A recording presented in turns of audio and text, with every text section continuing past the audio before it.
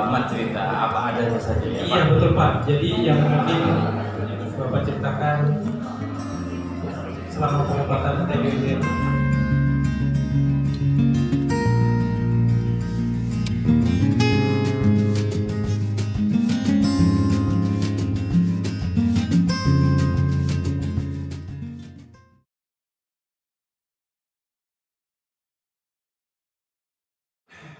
Sudah itu baru saya minum satu persatu. Jumlah obat yang saya minum itu 18. 18 luar biasa. 18. Intinya bagaimana Pak?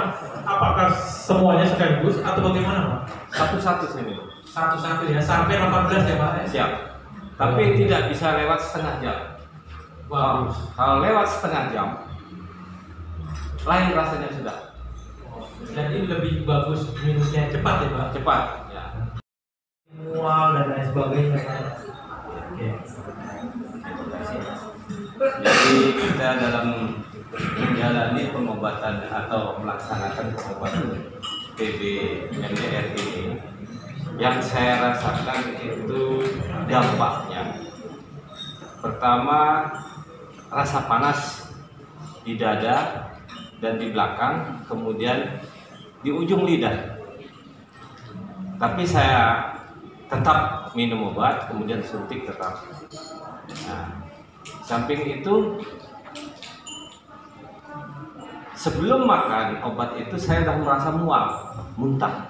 Jadi melihat obatnya itu udah mual ya Pak? mual muntah. Belum diminum ya Pak? belum minum.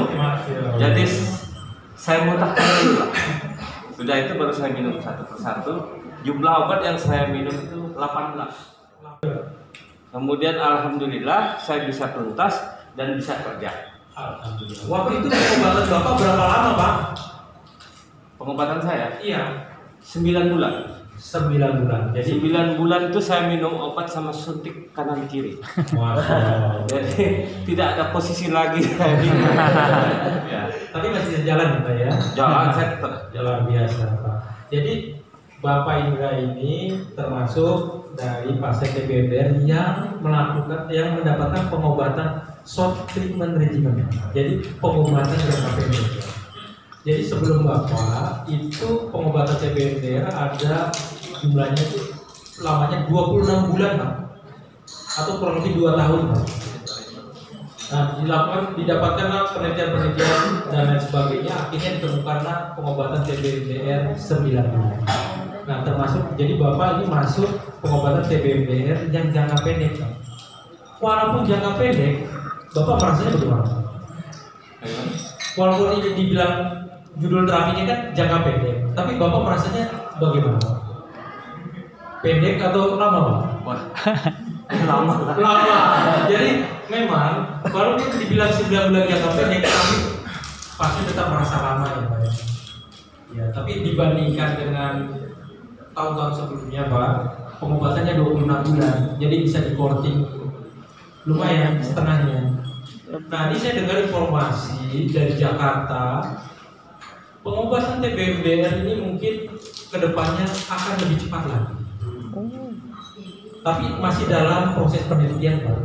Jadi belum belum belum bisa diterapkan karena masih proses penelitian. Jadi Bapak ini pernah sakit TB sudah berapa kali Pak?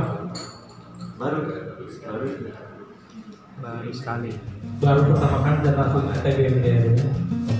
Terima kasih Pak ya atas waktunya. Ada yang mau disampaikan lagi?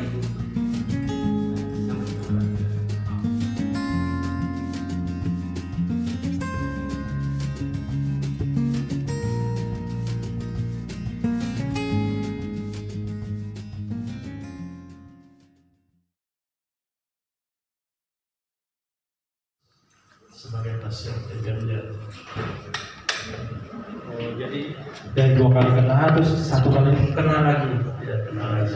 Jadi yang ketiga kali juga ya. Tapi waktu kemarin Bapak putus obat atau sudah dinyatakan selesai Pak? Selesai Pak saya. saya Dinyatakan selesai dua kali. Cuman yang kedua kan Pak, saya itu data yang pertama itu katanya tidak ada Pak saya Pak.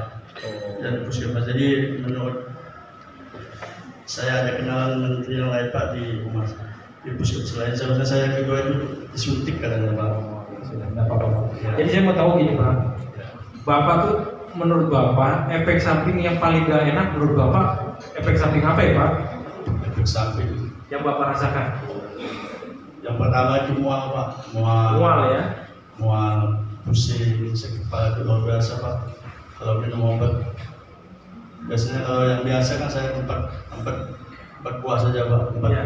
saja tablet tapi setelah saya menyandang pasien DPMDR saya itu harus minum obat sebanyak 16 buah pak 16 butir. Terus disuntik pak Plus disuntik juga Iya. Itu 16 buahnya langsung diminum sekaligus atau bagaimana? saya dalam saya siasati pak Bagaimana? biasa saya pertama saya biasa pertama saya mulai 16 kali minum pak tapi tidak mampu saya Nggak kuat ya? tidak kuat saya saya saya cicil pak biasa saya tiga aja Jadi Bapak bagi berapa Pak? biasa saya bagi tiga pak bagi empat kalau tapi biasanya saya minumnya malam pak Oh minumnya malam habis ya. makan malam saya Langsung diminum biasa ya. jam sekali saya minum saya Oke, jadi itu merupakan tips and trick buat pasien-pasien untuk bisa menyelesaikan pengobatan ya Pak ya. Jadi diminumnya dengan dosis terbagi per satu jam ya Pak ya. satu jam saya pak Oke, terima kasih Pak. Ada lagi Pak mau?